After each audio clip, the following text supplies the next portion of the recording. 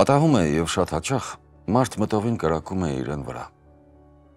Հստակ ջրի կամ հայելու ինչ որ մեկի աչքերի մեջ արտացոլված իր պատկերին եւ տեղն ու տեղն սպանվում է։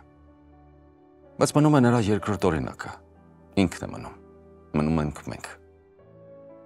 Եվ ինքներս առանց ողբի մեզ թաղելով սկսում ենք ապրել նորից։ Նախ բուսական կենթանական, իսկ բյուրավոր դարեր հետո նաև մարդու կյանքով ծանր ու դժվարին։ Եվ տևում է այս ամենը անցայրացիր մի պահ գուցե, գուցե շապատ մի անսահման կամ թերևս մի կարջ տարի։ Թեր իմ աստված, դու լավ գիտես, թե ես քանի, քանի անգամ այս սրախիչ տատասկապատ ճանապարհը կրկնել եմ ոտաբոբիկ։ Եվ հոգնել եմ, շատ եմ հոգնել։ Թե ինքս ինձ սպանելուց, թե առավել վերապրելուց։ Եվ կարիք կա, որ ես նորից նույնը փորձեմ այս անգամ էլ ինքս ինձ վրա կրակելով այս աղջիկը աչքերի մեջ։ Հակիր աչքերդ սիրելիս։ Սարսափով եմ ես մտածում, որ կարող է այս անգամ էլ ես չսպանվեմ, այլ ավիրեմ քո աչքերը։